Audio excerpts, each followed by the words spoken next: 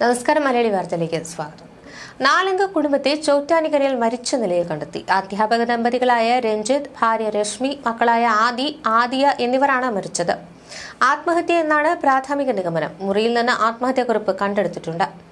Kandanad saint Mary's സ്കൂളിലെ അധ്യാപകനാണ് Ranjith Reshmi Poothotta S N D P സ്കൂളിലെ അധ്യാപികയാണ്. രണ്ടു മക്കളും ഇവിടുത്തെ വിദ്യാർത്ഥികളാണ്. ഇന്ന് രാവിലെ സ്കൂളിൽ ചെല്ലാതിരുന്നപ്പോൾ സ്കൂളിൽ നിന്ന് വിളിച്ചുവെങ്കിലും മറുപടി ഉണ്ടാക്കുന്നതിനെ തുടർന്ന് സ്കൂൾ അധികൃതർ പഞ്ചായത്ത് അംഗത്തെ വിവരം അറിയിച്ചു.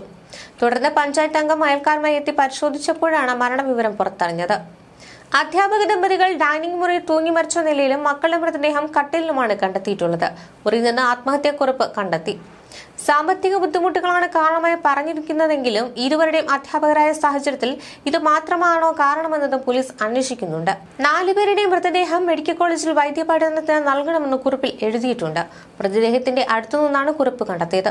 രാവിലെ വീട്ടിൽ നിന്നും ശബ്ദമൊന്നും കേൾക്കാതിരുന്നവരുടെ അയൽവാസികളാണ് വിവരം തിരക്കിയെത്തിയത്.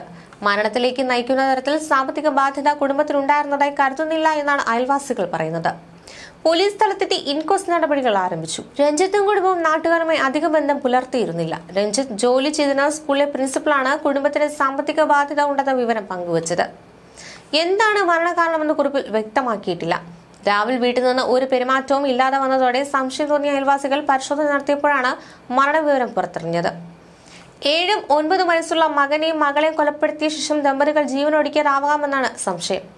വിശദമായ പരിശോധനയ്ക്ക് ശേഷമേ കൂടുതൽ വിവരങ്ങൾ പറയാനാകൂവെന്ന് ഡിവൈഎസ്പി ഷാജൻ പറഞ്ഞു. കുടുംബത്തിന് സാമ്പത്തിക ബാധ്യതകൾ ഉണ്ടോ എന്ന് അറിയാൻ സാധിച്ചുവെന്ന് പോലീസ് വ്യക്തമാക്കി. കണ്ടനാട് സ്കൂൾ അധ്യാപകരായ രഞ്ജിത്തിനെയും രശ്മിയെയും രണ്ടു ദിവസമായി കാണാതായതോടെ സ്കൂളിൽ നിന്നും സഹപ്രവർത്തകർ വിളിച്ചു നോക്കി. രണ്ടു ദിവസമായി ഒരു പ്രതികരണവും ഇല്ലാതായതോടെയാണ് അസ്വാഭാവികത തോന്നി അന്വേഷിക്കുന്നത്. ഇതിനിടെ നാട്ടുകാർ ഉൾപ്പെടെ വീട്ടിലെത്തി അന്വേഷിച്ചപ്പോഴാണ് നാലുപേരെയും മരിച്ച നിലയിൽ കണ്ടെത്തിയത്. വർഷങ്ങളായി കക്കാട് താമസിക്കുന്നവരാണെങ്കിലും നാട്ടുകാരുമായി വലിയ ബന്ധം കാത്തു സൂക്ഷിച്ചിരുന്നില്ല. പ്രശ്നങ്ങളൊന്നും ഉള്ളതായി അറിയില്ല. രാവിലെ ജോലിക്ക് പോകും തിരിച്ചു വരും. അതിനപ്പുറം കുടുംബത്തെക്കുറിച്ച് കൂടുതലൊന്നും അറിയില്ലെന്നാണ് നാട്ടുകാർ പറയുന്നത്.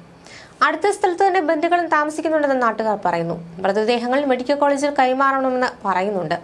അതുകൊണ്ട് തന്നെ ആത്മഹത്യാവാദം പോലീസ് ഉറപ്പിക്കുന്നുണ്ട്.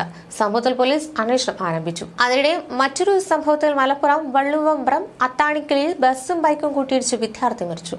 ബൈക്ക് യാത്രികനായ പറമ്പിൽ പീടിക സ്വദേശി വരിച്ചാലിൽ വീട്ടിൽ സി. മുഹമ്മദ് ഹാഷിർ ആണ് മരിച്ചത്.